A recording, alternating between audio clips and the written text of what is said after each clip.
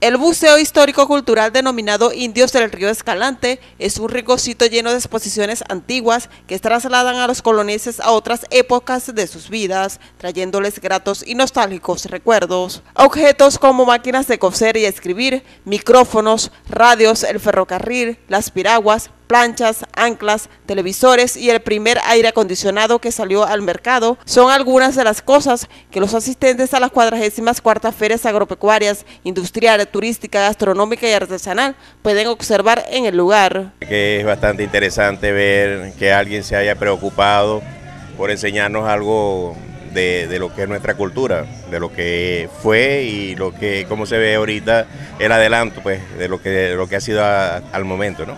Sin duda que la piragua es importante, las máquinas de escribir. Por lo menos vi el aire acondicionado que no lo había visto.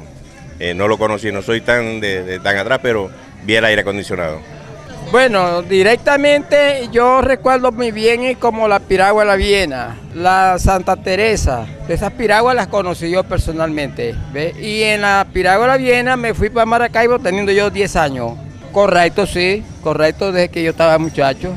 Y positivamente que sí, así es. Para el Sistema Colonés de Medios Públicos, yo, Andri Dávila.